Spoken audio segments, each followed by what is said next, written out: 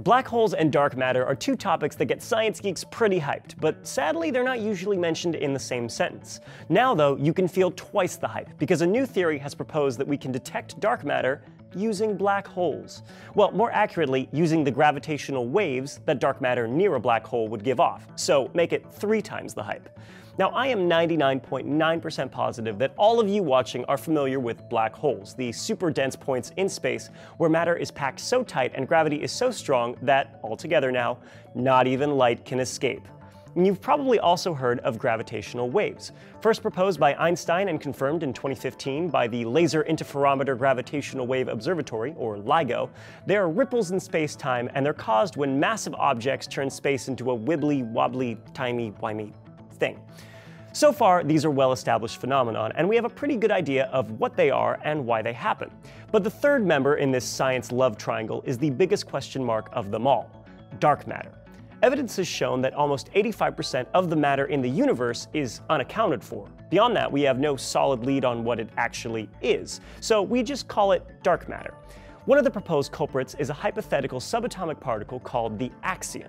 These little guys were originally proposed to solve another mystery of physics called the strong CP problem, but they might be the key to dark matter as well. Score. They're predicted to be a billionth of the mass of an electron, or lighter, but with enough of them, they just might add up to all that missing mass. Those are the key pieces, a black hole, gravitational waves, and a whole bunch of axions. The way the researchers propose they work together is really quite elegant.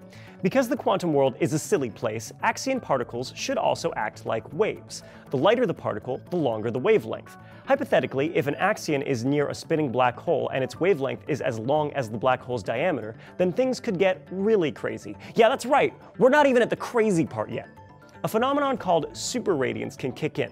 Superradiance is a process that has been shown to multiply photons, and axions and photons are thought to have some properties in common. The spinning black hole would give the axion more energy and generate more axions in a runaway chain reaction like a Mr. Meeseeks box. You can end up with 10 to the 80th power of axions around one black hole. That's as many axions as there are atoms in the universe. All of these axions should give off a distinct signature that we can detect. The researchers predicted they won't scatter randomly but will form orderly clouds like electrons do around an atom. And as they smash into each other, they should annihilate each other to produce gravitons, another hypothetical particle that's never been confirmed. These gravitons mediate the force of gravity, so we should be able to detect them coming from these huge axion clouds as gravitational waves. LIGO isn't quite sensitive enough to pick up these gravitational waves just yet, but once it is, if LIGO detects gravitational waves with the same wavelengths from different sources, then we'll know it's likely caused by these axions and all the pieces will fall into place. Don't go thinking it fits completely perfectly just yet. For the axions to have a long enough wavelength, they'd have to be much lighter than what we're currently looking for with lab experiments, anywhere from 10,000 to 10 million times lighter. And at that mass, they still might be too light to account for all the dark matter.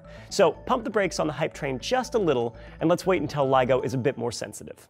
Do you have a favorite candidate for dark matter, axions, WIMPs, machos? Let us know in the comments. Don't forget to subscribe, and if you're still hung up on why gravitational waves should get you hyped, check out Julia's video on it right here.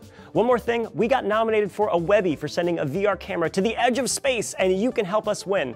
All you have to do is go to vote.webbyawards.com, search Seeker, and click vote. Simple as that. Or click the link down below. And if you still haven't seen it, check out the video on Seeker VR. Thanks for watching.